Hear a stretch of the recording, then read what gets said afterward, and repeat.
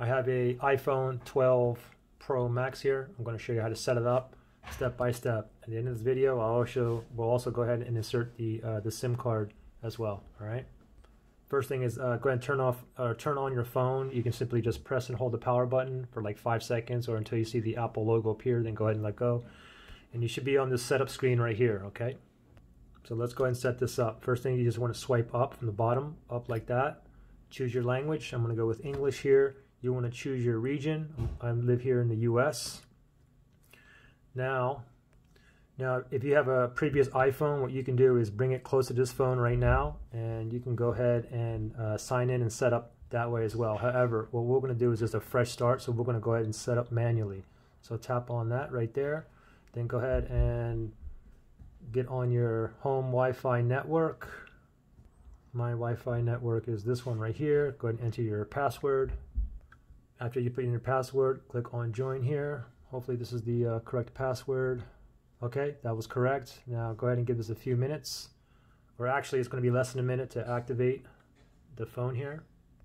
Okay, so that took about like 30 seconds or so. And from here, data and privacy, go ahead and click on continue.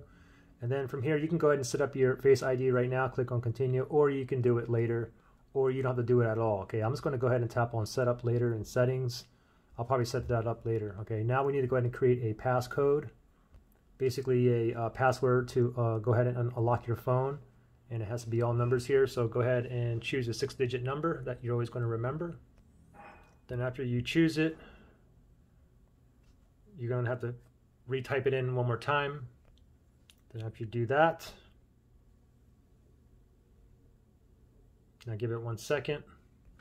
Now you can go ahead and transfer apps and data to this iPhone here. If you have a, uh, another phone, doesn't matter if it's an Android or iPhone. Okay, so your options here is you can restore from iCloud backup.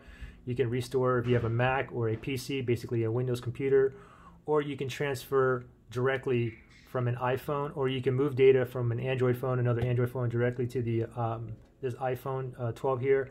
Or what I'm going to do is don't transfer apps and data. I'm going to do a clean slate here. So I'm going to go ahead and tap on this right here. You need to go ahead and enter your Apple ID. If you don't have one, you need to make one, all right? After you entered your Apple ID, go ahead and click on return. Now you have to input your password. After you put in your password, go ahead and click on return. Now this here just popped up on my iPhone 12 uh, Pro Max here, um, Apple ID verification code. Now what they did was they sent it to one of my other devices and I just heard my other iPhone here. Something came up and it says your Apple ID is being used to sign in near Monrovia, California. So this message here pops up. I'm going to go and click on allow.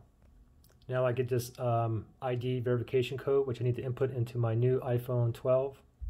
And the activation code for me is 562122.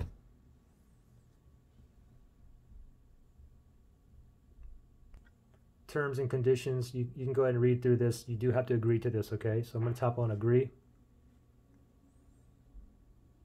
Now give this a little bit. Okay, now we're under uh, express settings here. You can customize settings or you can just go and tap on continue. I'm just going to go with continue here. It's fine for me. Keep your phone up to date. Tap on continue. Here's your Apple Pay that you can link your credit card to. You can do this right now. Click on continue, or you can do it later, or you don't have to do it at all. Okay, I'm just going to go ahead and set up later in my wallet. Keep everything safe in iCloud. They basically want me to buy 50 gigs for 99 cents a month. I don't need it. I'm just going to click on not now, and you can always go back and purchase it later if you wish, okay? Here's the uh, voice assistant Siri for iPhone. You can go ahead and set this up. Click on continue, or you can set it up later in settings. I'm just going to set, set this up later. Here's your screen time here. You can go ahead and continue if you want the screen time. The only thing with the screen time, I mean, gives you insights to your uh, screen time and you can set um, time limits for apps that you want to manage.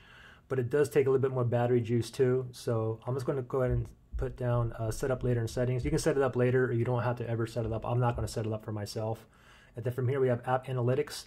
You can go ahead and share um, certain crashes and whatnot to um, share with developers, or you, you can click on don't share. It doesn't matter, okay? I'm just going to go ahead. I'll share it with the app developers. Uh, True Tone display. Uh, if you don't want it with the True Tone display, I mean, I mean, you, you, can tap down here, see without True Tone, True Tone display. You can tap on that. So you can just press and hold. And you can see how that looks. okay? I'm gonna go ahead and go with the default here. This is perfectly fine, so I'm gonna go ahead and click on continue here.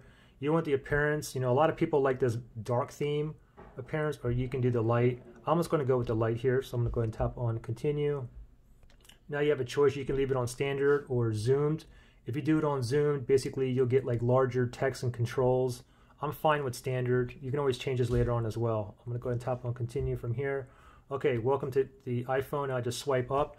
Okay, we're in business. Now next thing we want to do is go ahead and insert the uh, SIM card. So I'm going to take the SIM card out of my old iPhone here. So there's my SIM card right there. Now if you look on the left hand side, we can see the, uh, the um, SIM tray right here. You can see the outline of it. It's that little hole right there. Go ahead and grab your SIM ejection tool. It comes right in your box here.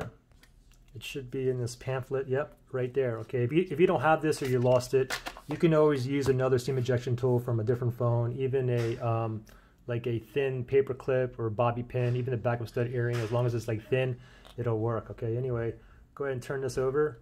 And then we see the uh, SIM tray right there. We're gonna put the needle right in there. And then what I'm gonna do is I'm gonna press in, just press in until the lip pops out a little bit right here. And then we can go ahead and slide this out.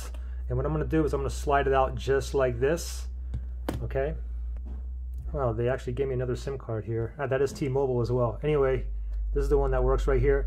Now I'm going to hold it just like this. Now there's a diagonal slit on the top left-hand side, okay?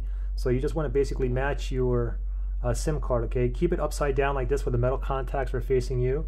And the, the diagonal slit is right there and right there, okay? So I'm going to go ahead and place this just like this. Make sure it's nice and flush. And now what I'm going to do is going to insert this. So I'm going to put this in really slowly, just like this, and we'll see if it finds it, my carrier right away. So as I pop it in here, I'm going to wait till I see some like recep there's reception bars right there. T-Mobile, well, that was quick. Okay, depending on the carrier, sometimes they will, um, you'll get a message here to go ahead and uh, restart uh, your phone.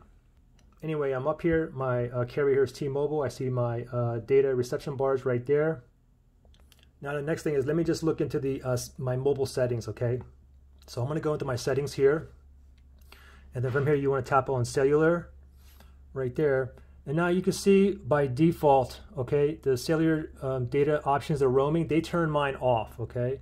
I like to have mine on. I don't get charged for data roaming whatsoever, so I always like to keep mine on. And you can see your network selection down here. Wi-Fi calling is on. Calls on other devices is on as well. Okay, so I'm up and running, ready to use this phone. Good luck.